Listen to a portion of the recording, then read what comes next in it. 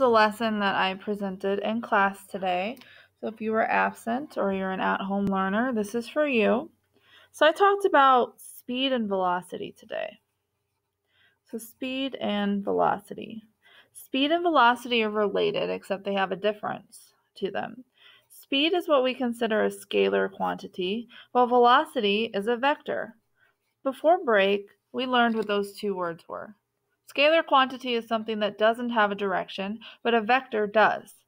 So just to add, we have no direction, or we have direction. So I have two examples, or two things here. I'm going to write 10 meters per second and 10 meters per second. So meters per second is your units for both velocity and speed. But in order to distinguish between the two, velocity needs to have a direction with it. So 10 meters per second is speed, but if I say 10 meters per second to the east, I'm actually talking about velocity. Speed and velocity have the same equation. It is distance over time. So speed is d over t, while velocity is also d over t, except I use an s for speed and a v for mm-hmm. velocity. I'm going to go ahead and derive the equations from this. So if I want to solve for d, what I'll do is I need to multiply by t. So d equals v times t. But if I want to solve for t, I'm going to cross multiply and put t over here. And then divide by v. So t is d over v. So your three equations are v equals d over t, d equals v times t, and t equals d over v. So those are the three equations that we're going to use today. We're going to do a couple problems just so we can apply this formula and this knowledge.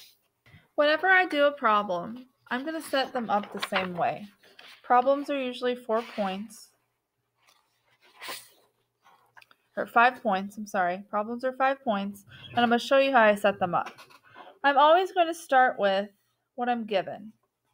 And what I mean by that is what is in the equation itself or what's in the problem. Physics problems are going to be word problems, so we have to pull out the information that we're given. The other thing that I need to include is the equation. What equation do I need in order to solve the problem? After that, I need to make sure that I show my work. How did I get my problem? So when we do this, I want you guys to do this on paper, and then you can send pictures of it to me, and we'll do things that way. The other two things are going to be the correct answer will be worth a point, and then the correct unit. So we're going to do five example problems. I want you to do these with me so you understand how to do this.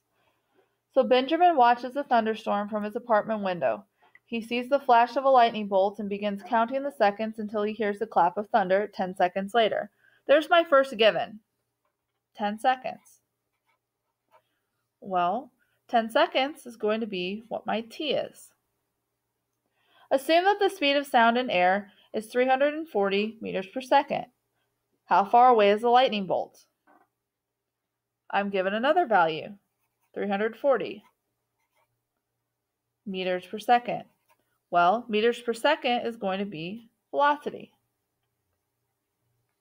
What am I missing? I don't have d or distance. So I'll put that with a question mark. That's what I need to solve for. So since I'm solving for d, I look back at my three, equa- um, three equations that I wrote, and I'm going to use d equals v times t. Work shown. d equals 340 meters per second times 10 seconds. I need to keep my units.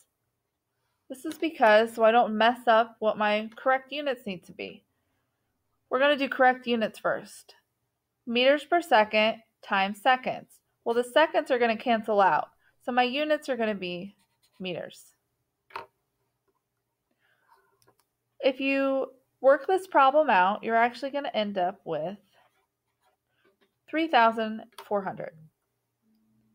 This is not right. The reason for this is you have to have the right number of sig figs. So I need to go back to my problem here. So this has 1, 2, 3, 4, 4 sig figs, and this one has 1, 2, 3, 3 sig figs. When I do multiplication or division, I'm going to do the least number of sig figs in the problem. So I need 3. Well, right now I only have 1, 2. Well, let's add a decimal. Still doesn't work because now I have 1, 2, 3, 4, and I only need 3. So this is the time that we need to use scientific notation. So I'm going to write 3.40 times 10 to the, and I need to see how, what do I need?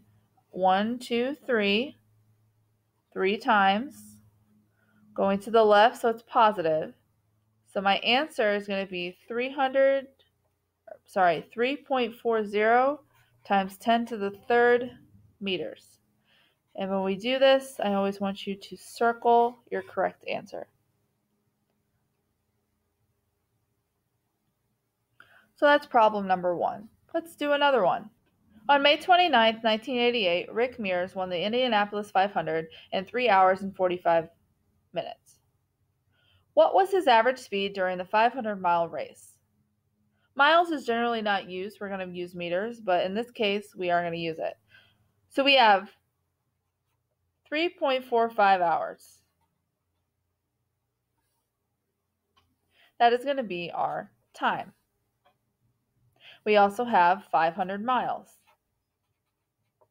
500 miles is our distance, so we want to know how fast was he traveling?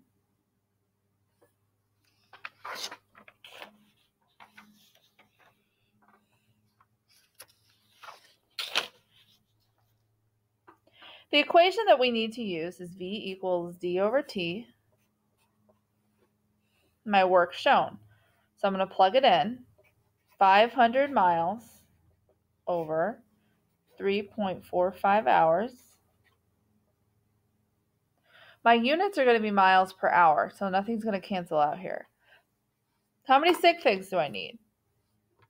I wrote this wrong. That actually is supposed to have a decimal there. Decimal. That's important. Decimals are important. So we have 1, 2, 3, 1, 2, 3. So my answer also needs to have three sig figs. So when I work that out, I have 145 miles per hour. Technically, this should just be an H. Sorry about that. So that's our second problem. Let's do another.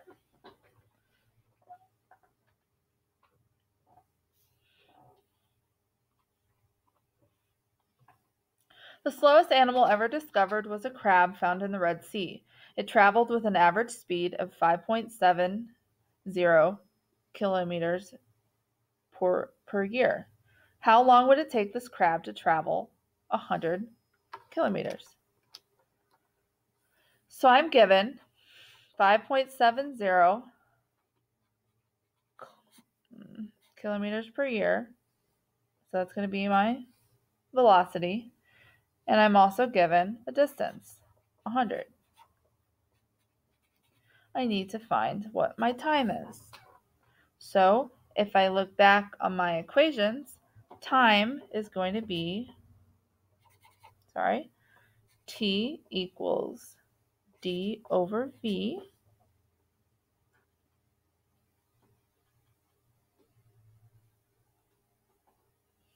I'm going to plug in my numbers. I have 100 kilometers over 5.70 kilometers per year. These are going to cancel out, so my units will be years. I have one, two, three, three sig figs. Mr. Could you call me at extension 300, Ms. Shabatone? I have three sig figs here, and I have one, two, three, three sig figs here.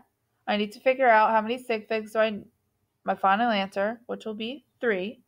So if I put this into my calculator, I actually get 17.5 years. Next, Hans stands at the rim of the Grand Canyon and yodels down to the bottom. He hears his yodel echo back from the canyon floor 5.20 seconds later. So my first one is time, 5.20 seconds. Assume that his speed of sound in air is 340 meters per second. How deep is the canyon at this location? So I have a velocity, 340 meters per second, and I need to find my distance. So, oops, sorry, we messed this up in class, so I'm going to not mess it up this time. I'm going to explain why. So here's my canyon. Here's Hans. Here's his yodel. Travels down, travels back up, and it takes 5.20 seconds. That is not the correct time. We want to know D. We want to know this distance. What this time is going to tell us is going down and back. So in order to get the correct time, we have to divide it by 2. So 2.60 seconds. We'll have problems like this again later on as well. Since I'm solving for distance, my equation is going to be d equals vt. I'm going to plug in my numbers, 340 meters per second times 2.60 seconds. My seconds are going to cancel out. I need to make sure I have sig figs. So this has 4 and this has 3. So my answer needs to have 3 sig figs since we always do the least number of sig figs. So once I do the math, my D is actually going to be 884, and my correct units are going to be meters. And I would circle my final answer. Next problem. A peregrine falcon is the world's fastest known bird and has been clocked diving downward toward its prey at a constant vertical velocity of 92 point, sorry, 97.2 meters per second. If the falcon dives straight down with a height of 100 meters, how much time does it give the rabbit below to consider its next move? So we have velocity. Velocity is 97.2 meters per second. We have a distance, which is 100 meters, and we need to know time. So t is going to be distance over velocity.